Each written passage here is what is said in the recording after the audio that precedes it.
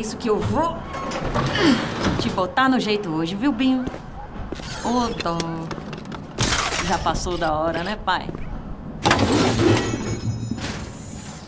Hum, vamos lá.